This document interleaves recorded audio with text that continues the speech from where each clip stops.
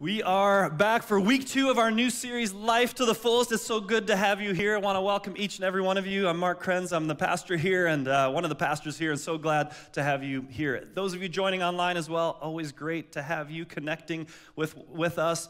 As Kyle said, there are so many great things that are happening right now at Meadow Park. Before I get in the message, I just want to say how awesome it is to be a part of what's going on. And, and uh, as Kyle mentioned, there's the, the kids have been moving up in their grades and ages, but we've also relocated our Park Kids area to the second floor. Some of you don't even know that we have a second floor. We have a second floor, and uh, it's great to have these designated spaces for our kids, and the rooms are looking great, and they, this, the, the team has worked so hard to put that together. They launch for the student ministries tonight at 6 o'clock. I'm excited to be a part of that. I'm representing them today here with our Meadow MPC youth youth. Apparently, we don't use vowels anymore. But it's, uh, but it's good. It's going to be there tonight, so lots of good things happening. Also, want to let you know that uh, we have appointed and asked uh, my wife, Shannon Krenz, to be the interim youth director. And so, in the time as we are trying to, yes, thank her for, for that.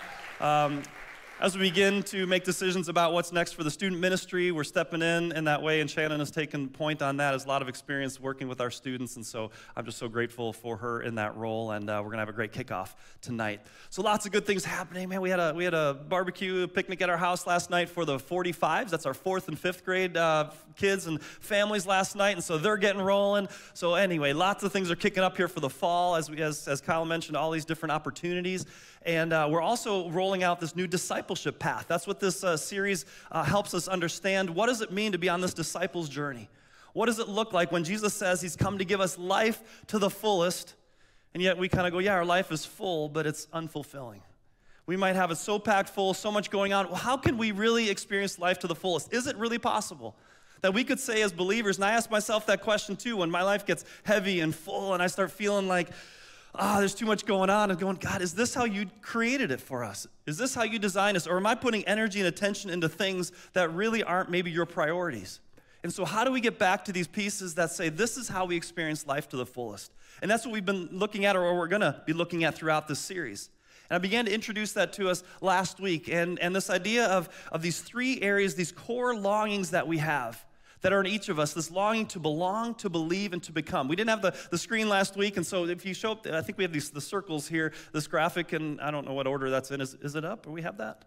There it is. Yeah. So, this idea of these three pieces together belonging, believing, and becoming. This belonging of life together, spiritual vitality, and then living that out, love and action. All these three things need to happen in our lives simultaneously in a way that we begin to experience what it means to live a Christ centered life to experience what Jesus said is life to the fullest. So, we're going to be looking at these over the next couple of weeks. What does it mean to belong, to believe, and to become, and how we meet those core uh, longings that are in our souls. And we followed the, the journey of Peter a little bit last week. Peter, uh, one of you know, the most well known disciples of Jesus, and how he experienced each of these in his life, how Jesus invited him into this relationship of belonging. Come and follow me. Come on this journey. And Jesus began to invest in his life for years, just spending time together on this journey. Till Peter came to that point of saying, You are the Messiah. He came to this recognition, this awareness of who Jesus is, excuse me, that he is the Messiah, the Son of God. And his faith began to, to be put in him, and his trust was put in him. And then after the resurrection, Peter became the, the, the, leader of the church, the leader of the new community, and, and living out this faith and dying for it himself. We see these things happening, belonging, believing, and becoming together to form that foundation. And so, what I want to talk about today, though, I want to dive deeper into this belonging piece. What does it mean to belong? So, today in part two, belong, I am known and loved. When we belong, we come to a place where we are known and loved, where we can just find that sense of connection, of community, of peace. Do you feel like you belong? I mean, it really gets at these core questions. Remember, I addressed them last week. The core questions Do I fit in anywhere? What am I here for? Who, who do I connect with? Am I lovable? Am I, can I be loved? Is there anyone that will accept me? These are core belonging questions. But here's the, the problem America has been called the loneliest nation on earth. Does that surprise you? America is one of the loneliest nations on earth. People would say they are lonely. Over 60% of people describe feeling lonely at some point in, in, in the last year when, the, when surveyed. 22% would describe being lonely often or always. So, like, you know, social psychologists, was they're looking at, at what it means, what loneliness is, it's, it's this, this gap between this desired level of connection and relationship and what we actually experience. So in our minds, we see people or we're watching others and we go, man, if we could connect with as a family like that. Or I see how others have these friendship circles and they're out at restaurants together, or they're at an event, or they vacation together, or maybe they just seem to have these deep friends that they connect with regularly. I want that, but I don't have it. And this gap of like not having this full connection that we long for leaves us feeling empty, leaves us feeling lonely. And so we experience that gap between what we want and, and, and what we actually experience. So I found this article that, that I read in, uh, in Harvard Magazine, and, and one of the professors there, Jeremy Nobel, he's, uh, he teaches at the School of Public Health. Uh, he teaches a course on loneliness. So you can actually take a course at Harvard on, on loneliness.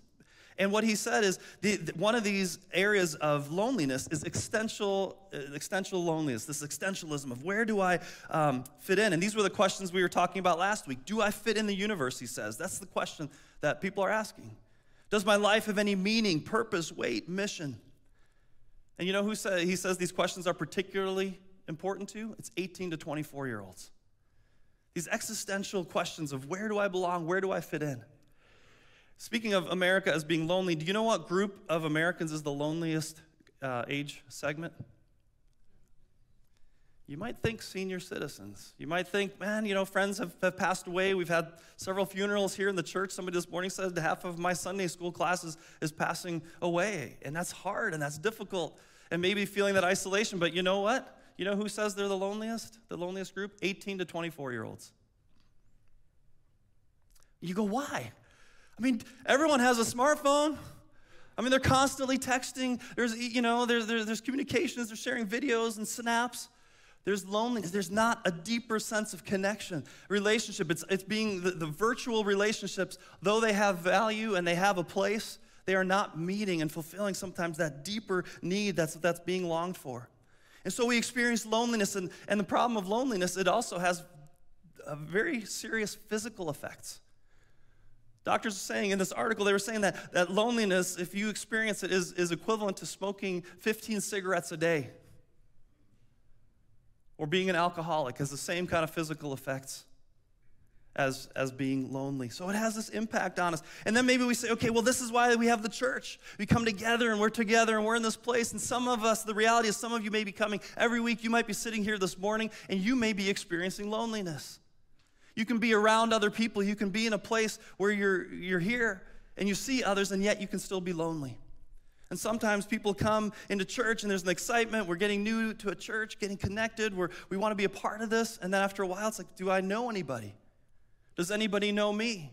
And can the church be just the same as maybe in other places where people form their groups and don't allow somebody else in and it's hard to kind of break into that environment?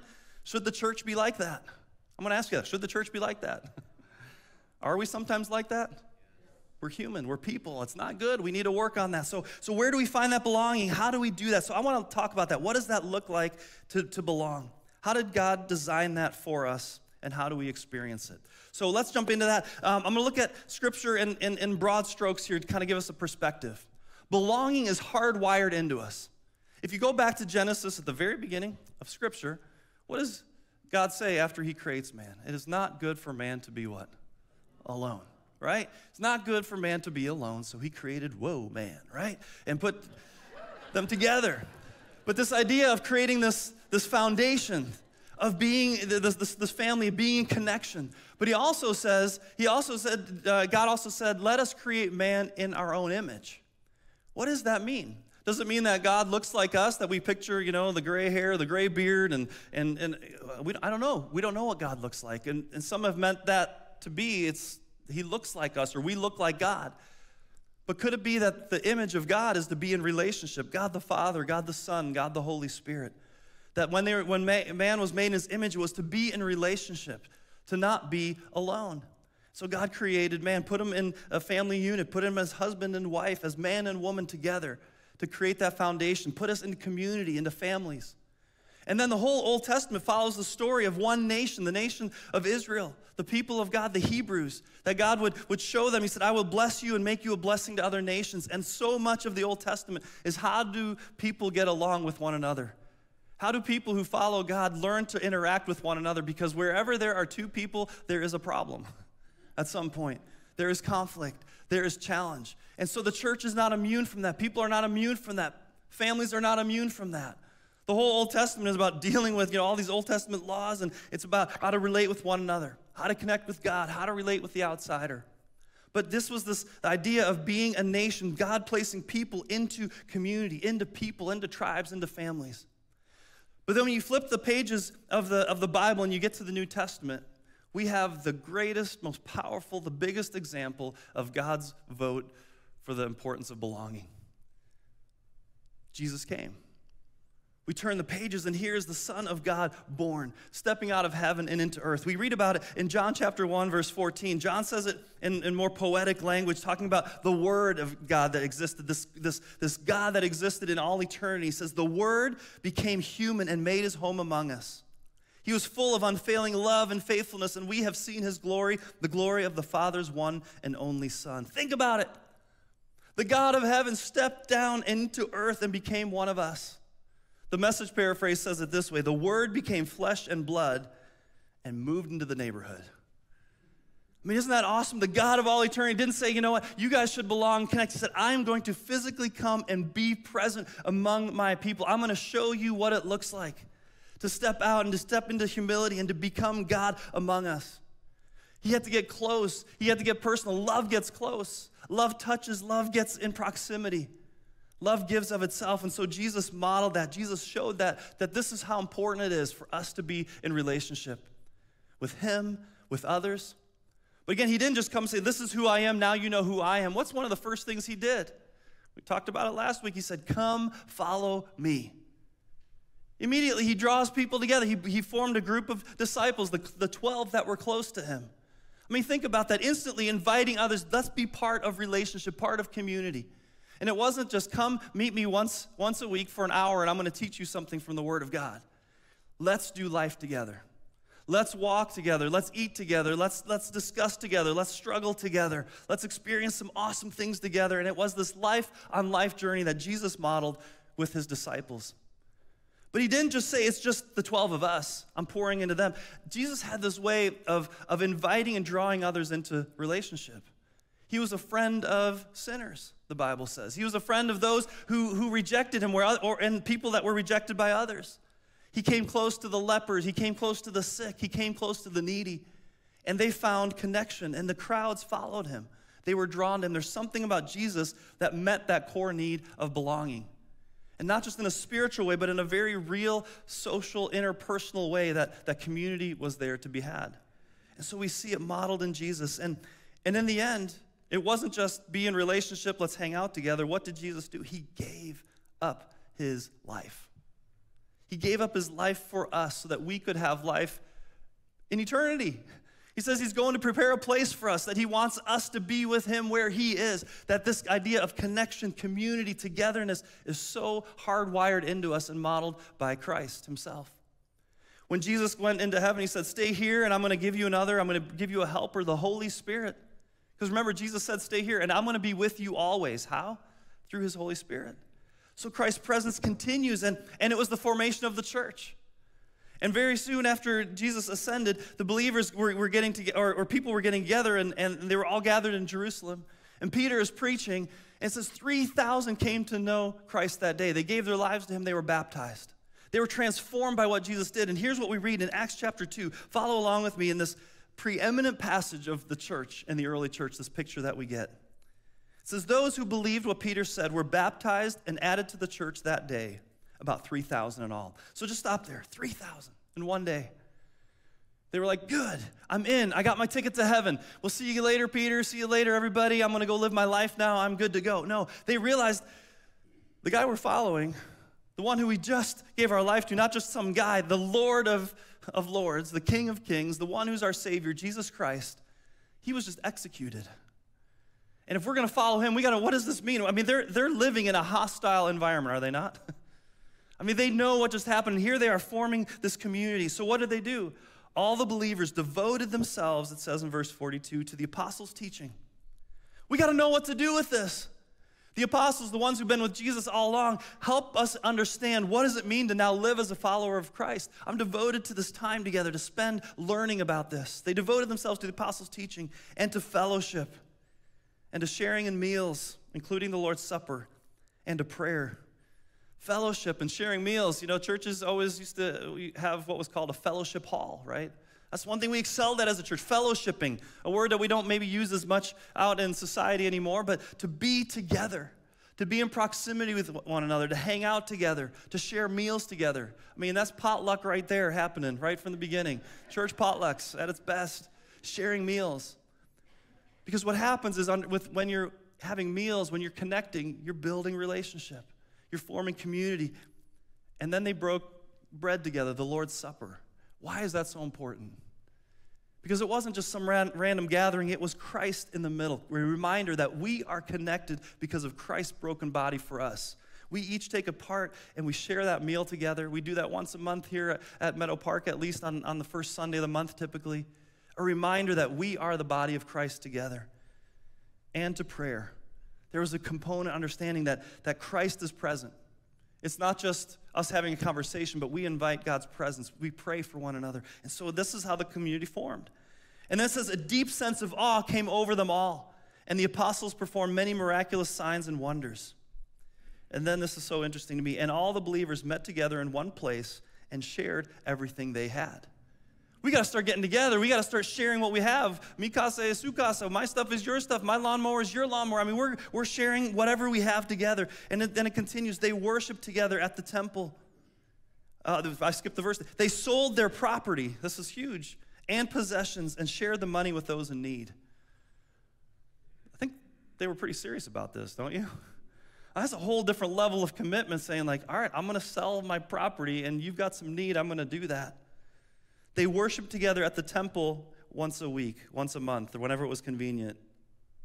Oh, wait, each day, sorry. Every day. Every day. Then they met in homes for the Lord's Supper, and they shared their meals with great joy and generosity, all the while praising God and enjoying the goodwill of all the people. And each day the Lord added to their fellowship those who were being saved. You see this picture They've come to, to, to, follow Christ. They've seen who He is and what He's done for them, the forgiveness. Now they're like, how do I live this out? Well, I got to get together with others who are experiencing this too, and we got to learn what it means. We got to devote ourselves to the teaching. We got to care for one another. We got to look out for one another. There's a hostile world out there that, that isn't in favor of what we were doing here. They, they, they executed Jesus, but yet we're committed to this. We're going to care for one another. We're going to pray. And what did God do? He added to their number daily those who were being saved the community grew, the fellowship grew as they were gathering in different places. And people realized I'm part of a community that is bigger than me. And then we read in the rest of the New Testament all these different letters that are, that are written to help the church learn how to be the church to help the people of God learn what it mean, what does it mean to be the family of God? How do you deal with conflict and challenges and faith? And how do you deal with the outsiders and reaching out to others and sharing your faith? It's the community coming together, belonging as one. And you follow this through, like we said, from, the, from, from creation through the Old Testament, through Jesus' incarnation, through the church. You get the idea that God cares about us being in community with one another, don't you? That this is a big deal. You can say it this way following Jesus was never designed to be a solitary journey. So many of us think it's a, we talk about a personal relationship with Christ, and while I think that's a valid way to talk about it, we forget about the corporate relationship with Christ, the community relationship with Christ. When we're so heavy on the personal relationship with Christ, we forget that I was never meant to just walk this journey alone. It was meant to be in a family, to be connected to the church itself. And so here we, here we go. This is the church. This is about being the church. It's about being together. It's about being in this place connecting with one another on this disciples' journey together. We have to belong. This is not about you sitting at home reading your Bible in isolation, never connecting with the church, going, I've got my faith. I don't need to be part of a body. I mean, come on, I'm saved. I don't need the church. Let me ask you a question Can you be a Christian without being part of a church? I'll grant you it's a, somewhat of a trick question because you can start getting all, you know, start talking theology. Well, is, does the church save you or does it not? I don't think you can, though. I don't think you can. That's not how God designed it to be. For you to say, uh, you know, now if you're like, you know, stranded on a deserted isle and nobody can rescue you and you're by yourself, you have to forget those silly arguments. God designed us to be part of a family, the church. So we ask ourselves this question what makes the belonging in the church different than belonging anywhere else? Or what makes belonging at church different than other belonging elsewhere? Because you can belong in other places, right? I mean, are, other, are there places where you can meet regularly with other people? Sure. You can be part of a club, a group, a team.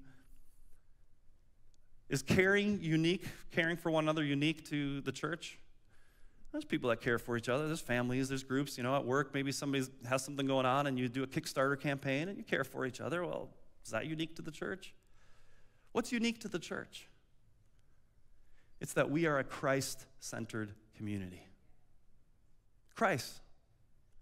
That's the difference. And that changes everything. It changes everything about the way we relate to each other, how we connect with one another, what we do, how we care, and how God puts this church together. He says, We are adopted into a new family. You know, you, you can't choose your family, right? Some of us, you know, we wouldn't choose relationship with each other, but God brought us together in this place.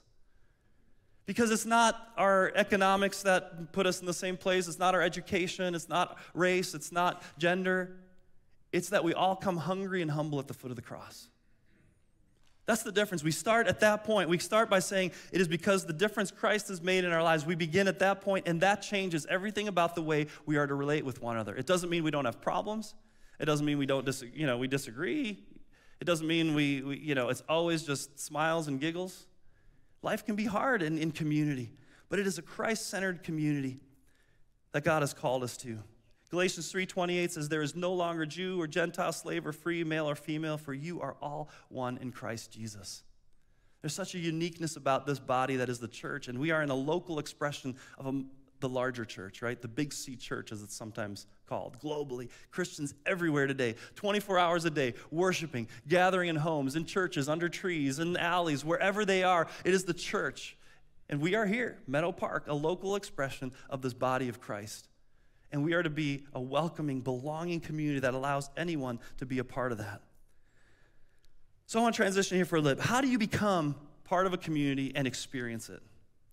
I want to talk about three commitments to experience belonging. Three commitments. And this is going to help you not just here in the church, although I'm going to gear it towards the church, but in any, in, in any setting. These are three commitments that will change the way that you experience belonging. These are three commitments that will change the way that you connect to others. This is a commitment. These are commitments that'll help you kick loneliness and isolation to the curb. What are the three commitments? We'll talk about these here show up, open up, and give up. Show up, open up, and give up. Let me talk about what I mean by each of these. First one I will show up. Your presence matters. Your presence matters. Do you know that it matters that you're here today? It matters. You might think, you know, it didn't matter if I show up, you know, nobody cares. What does it make a difference? It matters that you're watching online, that you're saying, I'm there. Some of you have told me, uh, I talked with someone, someone first time here today in a long time, but, you know, I'm watching all the time. I've been watching for the past year. I'm there every week. Your presence matters. Woody Allen once said 80% of success is just showing up. Just showing up, right? You come to church, that you get together, that's already the first part of success. That's the first way in which you're going to break the isolation and the loneliness is you're saying, I am going to show up. But the irony is, the more lonely you are, the more the hurdle comes to actually get together to get with others, right? Like I'm lonely, but ah, all the excuses why I don't want to get together. Nobody, I don't know anybody. We hear it all the time, or maybe you think like, you know, kid, you remember like sending kids to camp, or maybe you felt this way. It's like, but I don't know anyone. I don't want to go. Well, okay, I guess you still won't know anybody if you don't go. But what happens if you go to a week of camp? You come home, and I think it's called friends, right? What happened is you had to show up. I don't want to go to youth tonight because I don't know anybody. Or I don't want to go to this event. I don't want to start join a small group because I don't know anybody. Exactly. exactly. That's why, but you have to take that first step. You have to show up. You have to take a step. You have to actually get out there and do that. And we look at, you know, the church and you say, well, does it, let's talk about attendance for a little bit. Why does it matter? Why does it matter how many are here, who's here? I mean, If it's just a number, sure, that doesn't matter. Is it all about pastors' egos? Is it about what we, what, what we can report? You know why it matters to me? Because your presence is the greatest sign of your commitment. Right? If somebody shows up, they have to make an effort to be there. They have to take a step to, to, to choose this time, to choose to care, to choose to be in relationship, to choose to value the thing that we're, that we're committing to together. Your presence matters because it shows what more than time i mean your time more than money more than anything else is, is precious and what you do with it and how you choose to spend it is very important it communicates a lot as we read in acts 2 the believers devoted themselves it wasn't just a haphazard like eh, we'll see they devoted themselves to the disciples preaching and teaching. Saw a post this week about Christians in Afghanistan versus Christians in America today. We need to be praying for Afghanistan. You know what showing up means for them? Could mean death. And there's Christians there that are going to be that are worshiping today. Don't they don't know if they're going to be beheaded or shot and the post kind of was saying, well, Christians in America, I'll go to church depending on what's on the Golf Channel. I'll go to church if I'm not too tired. I'll show up if I have nothing better to do, if there's not a basketball game or a soccer tournament or a birthday party. I want to challenge you with this show up challenge here. You can count on me being there every week. Why is this so hard for us? I mean, it might be speaking to the wrong folks here. You guys are joining in. But wh- why is this such a hard commitment? It's amazing to me. Honestly, I'll have conversations and I'll ask people for different things. And are you going to be there? Are you going to show up? I don't know. We'll see. We all love to say we'll see. Why? In case something else happens, in case something else shows up. If this is the commitment we've made, if this is what the body of believers does, we gather on the first day of the week to put Christ first and front and center. Why are we making this decision on Sunday morning while we're in bed to, to see if we want to be a part of the church. This is, this is the reality. What would it take for you to say, I will be there every week? Granted, you're going to be sick some week. I know you're going to travel. Something's going to happen, but you know what I'm talking about. This is my commitment. I'm a part of the body of Christ. When you show up, that belonging commitment makes the biggest difference in the church, in others. I was in this room preaching when we were during COVID lockdown and just speaking to a camera. It's different. It's different, right? When there's people around. Those of you watching online, if you've been in, in worship in person versus watching it online, is it the same or is it different? Those of you who've done that, is it the same or is it different? It's different. It's not saying it's bad. I'm glad for the technology. I'm glad that we have the ability during this time too to do that. But there's something about being in the room, being present, that matters if you're here. Belonging matters, showing up matters. Make the commitment every week. I will show up. Second commitment, I will open up. Share your life. This is where it gets a little more like, oh. Showing up is one thing, opening up, that's a whole other thing. Some of the men here going, uh, count me out. You know, I don't want to open up. That's wimpy. I don't know, whatever. You know, I don't want to open up. But we've talked about here about moving from rows to circles. Moving from rows to circles. It's great to be in this place. There is a belonging sense. We're connecting. Say hi to your neighbor, you know, greet one another and have some conversations. But let me ask you in your house, what is the configuration of the couches in your living room? What about your dining room table? I don't know what has those anymore. How about, your kitchen table? what about your patio furniture?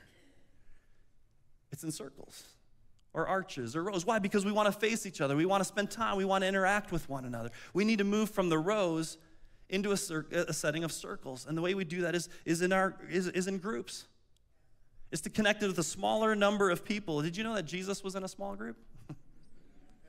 right? Jesus was in a small group. It's called the disciples. It was his 12. He connected with them all the time. He was in a small group. And at, at Meadow Park, we're rebranding the, what we call our small groups from community groups to life groups. Does that change anything about them? Not necessarily, but it's a name that really reflects what we want to communicate. If our mission is to experience life to the fullest in Christ, one of the ways we do that through belonging is to be connected in a community, to be in a circle, to connect life on life with others, to experience belonging, believing, and becoming. And so these are groups, these are times where we're to experience life. a place where you can have a dialogue, where you can have a conversation, where you can talk about the message or the scripture. You can pray for one another, ask how things are going, challenge each other, whatever the struggles are. You spend life together, but it takes time to open up to one another. To sit there and actually now say, it's not just I can hide behind a crowd, but I'm gonna get vulnerable. And that scares many of us away. And we wonder why nobody knows us. It's because, again, the same dilemma of even showing up is Am I willing to risk something in order to experience something? Look what it says in Scripture, 1 Thessalonians 2 8. We loved you so much that we shared with you not only God's good news, but our own lives too. There's a different level of community and connection and sharing when it's about sharing our own lives. Not just staying up here and, and you know, let's just talk Bible and scripture, and that's, as important as that is, but now it's our life. This is where faith is lived out every day. And so we need to be in a place where we can share our life together. That's what the early church did. Look at Romans 12, 15 to 16. Be happy with those who are happy, and weep with those who weep. Live in harmony with each other. Don't be too proud to enjoy the company of ordinary people, and don't think you know it all. Don't be that know it all in your small group.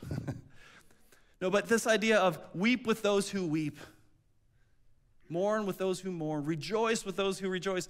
That's the awesome thing you get to do in community. I don't know right now today if this today's your birthday or if you had something great going on. This isn't the place where we can celebrate that in that same way. But you get in that small group or you were in that, that Sunday school class this morning and, and you got to say, Today's my birthday. Yesterday we had a 45 cookout at our house and one of the kids, Logan, it was his 10th birthday. It was like, Oh, it's your birthday. Happy birthday, right? We, I didn't wouldn't have gotten to know that in a larger setting. But somebody else, you sit down and you have a conversation and it's, man, I'm just I'm experiencing a lot of loss right now. There's things that are really challenging we open up we begin to share and things begin to change when we when we open our lives up in that way to one another. I will show up i will open up and third i will give up. What do i mean by that? Giving up. Sacrifice love and resources. Not give up as in quit. Give up as it's going to cost us something. True community costs us something. It really does I mean, it, it, it costs us something. If you want to experience true community, you have to invest in it. It cost Jesus his life for us. He so much loved us that he gave up his life for us to be in relationship with us, that we can have that. It cost him his life, and so is it going to cost us something? Yes. We talked about time, right? Showing up, energy, opening up, who you are, being, being vulnerable, risking some of those pieces and money and resources. It's going to cost us something. There's an investment there. What did the early church do? They sold their possessions, they gave to those in need. There was a financial investment into their community.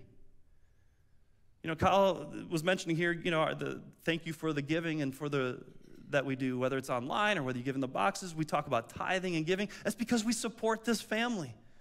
We don't sell a product, we don't bill anybody, we don't charge anybody anything. It's all just done out of love and out of the generosity of the people that call this church home. You'd be blown away by the generosity of some people here, and you would be utterly shocked at the non generosity of some people here. Getting a little close, aren't I? You don't like that. Pastor shouldn't talk about money. Bible talks about money. Bible talks about things. The lights wouldn't stay on if it wasn't for the generosity of people. The mission wouldn't continue if it wasn't for the generosity that says, I believe in this community. I want to support one another. I want to do these things that help us as a body to do the mission that God has called us on. And I'm going to help out those that are in need. It's a beautiful picture when we see the generosity, and we see it over and over and over and over again over the years here. And, and it's so cool to be around that. So you might be asking, why should I show up, open up, and give up?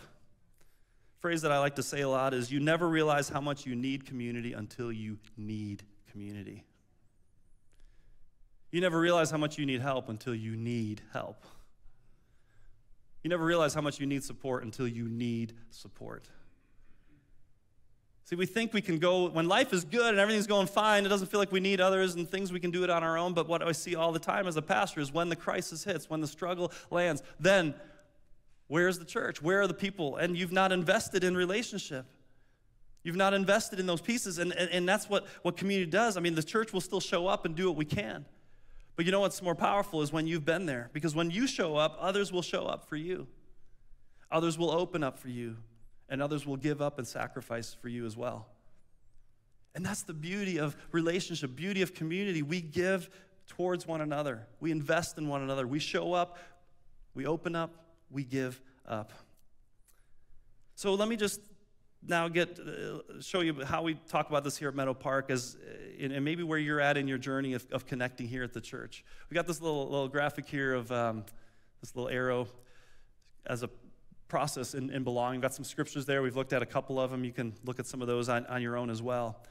But even when we talk about this, this, this, this idea of belonging, we start with this new here. It's important. Why do we welcome guests every single week? Why do we want to make that connection? Because at some point, we want to know your name. We want to know who you are. We want to build a relationship. It starts by knowing someone. And then we want to take that further. Next Sunday, right? Meet the pastors. We want to meet you. We want to help get you oriented. And we're starting a process of three classes that are going to start in, um, in September Belong, Believe, and Become, where we look at deeper at how these places, these pieces play out in our church to help that happen. Because we know anchoring into the community starts somewhere. You have to get to know the community, get to know some people. Your name needs to be known. And then you talk about connection events. We had the corn, the, the corn roast the other night, right? We have church picnics, we have some gatherings. Why do we wear name tags? You know, we want to connect. There's a place to go beyond the rows and to start building relationships fellowshipping, community, building together. But ultimately, we want to also lead into life groups. Are you connected in a place where you are known and can share life with, with 5 to 10 to 12 people, whatever that number is, a smaller group, where you're getting together, whether it's every week or every other week? We've got all kinds of groups in the church. We'd love to launch even more groups if you want to help community happen, to create that place where people connect. But God's mission wasn't just for that we would be in a small group forever and always, or that that's the culmination of it. That's just the catalyst to begin life and relationships outside of that meeting. And we look at that bottom part in daily life I'm showing Christ's love and building bridges to the people around me. You experience belonging, but then you live that out. You become like Christ in building bridges to people and, and inviting others and letting them know they're loved and they're welcome in your home, in your street, in your circle of friends, you're inviting them to church or maybe into your group. That's the way that community happens. And so, this is a, one of the processes as we're talking about how to help the journey of the disciple. Maybe you're somewhere along this path. Maybe you're brand new to the church here, and we want to say, we want to get to know you. We want to help build that relationship, connect you in places where you can build those deeper relationships. Or maybe you're saying, I don't even know Christ. I'm not even sure about the church or anything. You are welcome here. We know that belonging typically happens before believing. That you're in a place where you can ask questions, where you can bring your doubts, where you can have your uncertainties and say, you know what, that's okay. Let's, let's walk through that. Let's talk through that. And watch what God does in your life. We want to walk on that journey with you. So, where are you? How would you describe where you are in your belonging? Are you lonely? Jesus Christ came and gave his life for you to build that relationship, but then to put you into the church, to put you in a community. Have you been standoffish maybe with community? Maybe it's a time to say, I'm going to lean into it. I'm going to take a chance. I'm going to take a risk. I'm going to get into a group. I'm going to find a place where I can connect, where I can show up, where I can open up, where I'm willing to give up to be a part of what God has called me to do to meet those fundamental belonging needs. It's a powerful thing when we see the church come together. It was so fun last night. We were at the, you know, just had, again, about 30 plus 30, 40 people at our house and we're all outside and watching kids running and playing and then a group forms a circle and, and sitting in their camping chairs and we're eating hamburgers and we're having conversation and, and i discover things that you don't discover when you just sit in a row. I discovered that jason yaki used to ride his, uh, his bike in a velodrome when he was up to 10 years old you know those like angled bank things and did you know that those bikes don't have different gears? Like i learned all kinds of stuff now, was that a deeply spiritual conversation? No, but I feel like I know Jason better because I had some time with him. And did you know that Erin Neely, that she went on a vacation when she was younger with her family out to Seattle, and they had a conversion van that we were all jealous of, and then they were towing this pop-up camper. And this pop-up camper, when when when her dad took this one turn too tight, it actually the camper broke the uh, half the, the bumper off. It was kind of hanging there, and that was really embarrassing. But then later they made another turn, and the bumper got pushed back onto the car, and it was it was good again. You don't get that stuff here on a Sunday morning. But that's where sharing life and sharing community. But if those de- relationships develop over time and you meet consistently, you start talking about what about faith? What's going on in our lives personally? What's happening spiritually? Who are your kids? What are their names? What are they into? What are they interested in? That's the beauty of the church. That's the community that God created us for. And my desire, my hope is for each and every one of us to not just be a lone ranger in faith, to not just be a name or a face in the crowd or online, but that you're connecting with a small group of people to, to do life with and to be centered in Christ. Let's pray. Heavenly Father, thank you so much for this day. Thank you for a church that we can call home. But God, may be more than a worship service to attend. God, may it be a community that we belong to because of your sacrifice for us, your investment in us, your love for us. Lord, today, if we need to take a risk and, and sacrifice some of our time and our resources, our love, our relationship, God, help us to take that step into deeper community with those around us. Father, forge us deeper as a church on the mission you've called us to. And may this be a place of deep love and acceptance. And Father, if there's anyone here today that is just feeling crushed and lonely and isolated, I just give you thanks that they're listening in, dialing in, that they're sitting here, God, to be in your presence. Father, would you fill them with your spirit, with your comfort, and with your love? And Father, may that not only just be something that's personal and spiritual between you and them, but God, may we as a community surround them with love and prayer and encouragement. We pray all these things in Jesus' name.